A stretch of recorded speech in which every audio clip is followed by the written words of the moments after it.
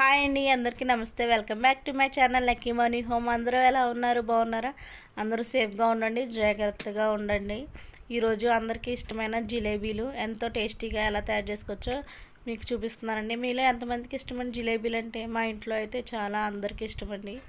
మా పిల్లలకి అయితే చాలా చాలా ఇష్టం. మరి ఇన్స్టెంట్గా పదిహేను నిమిషాల్లోనే ఈ జిలేబీలు ఎలా తయారు చేసుకోవచ్చో ఈ వీడియోలో చూసేద్దాం పదండి.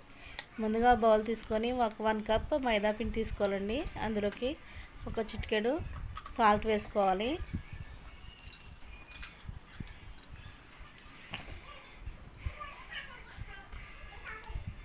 ఈ జిలేబీలు జ్యూసీగా టేస్టీగా చాలా బాగుంటాయండి. ఇప్పుడు ఇందులోకి ఒక హాఫ్ టేబుల్ స్పూన్ వరకు వంట సోడా వేసుకోవాలి.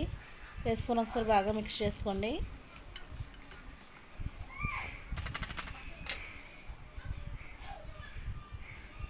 ఇప్పుడు ఇందులోకి ఒక త్రీ టేబుల్ స్పూన్స్ వరకు పెరుగు అనేది యాడ్ చేసుకోవాలండి. మనకి ఆ పులుపుదనం కోసం.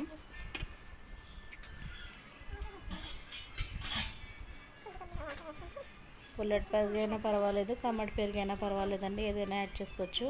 ఇప్పుడు కొద్ది కొద్దిగా వాటర్ వేసుకొని మనం దాన్ని లమ్స్ ఏమి లేకుండా థిక్ కన్సిస్టెన్సీ వచ్చేంత వరకు మిక్స్ చేసుకోవాలండి.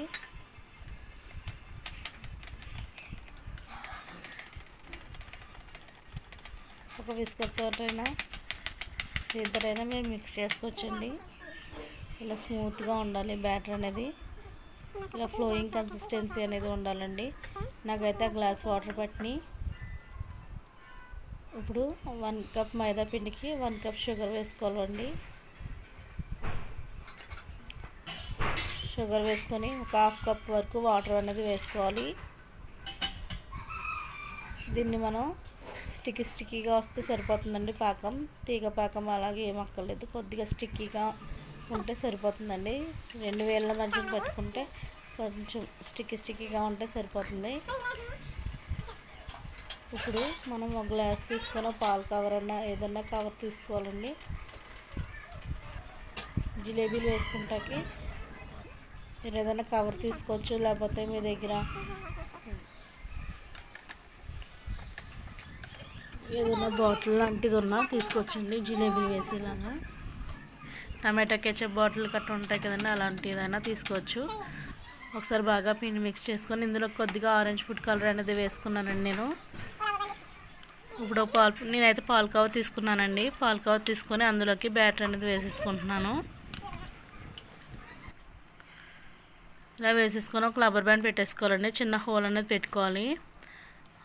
ఆయిల్ రీఫెక్ట్ పెట్టుకొని అలా జిలేబీలాగా వేసేసుకోవాలండి. అలా జిలేబీలా వేసేసుకొని పాకం అనేది కూడా వేడిగా ఉండాలండి. ఇందులో తీసుకొని అందులోకి వెంటనే వేసేసుకొని ఒక టూ మినిట్స్ ఉంచుకొని మనం తీసేసుకుంటే ఎంతో క్రిస్పీగా జ్యూసీగా ఉండే జిలేబీలు రెడీ అయిపోయినాయి. మీకు కనుక ఈ వీడియో నచ్చినట్టయితే ప్లీజ్ లైక్ చేయండి షేర్ చేయండి. అలాగే మరిన్ని రెసిపీస్ కోసం లక్కీ మార్నింగ్ ఛానల్ని సబ్స్క్రైబ్ చేసుకొని పక్కనే ఉన్న బెల్ ఐకాన్ యాక్టివేట్ చేయండి. నేను ఏ వీడియో పెట్టినా నోటిఫికేషన్